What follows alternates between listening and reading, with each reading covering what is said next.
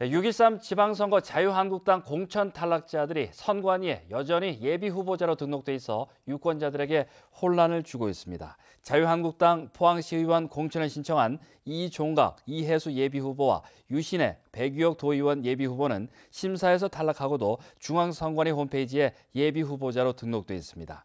경주에서도 이동호, 이성락, 이명수 도의원 후보 3명과 12명의 시의원 후보들이 자유한국당 공천에서 탈락했지만 예비 후보 등록을 철회하지 않고 있습니다. 선관위는 자진 철회를 안내하고 있지만 예비 후보자들이 응하지 않고 있다며 후보 등록일 전인 23일까지는 강제할 수 없다고 밝혔습니다.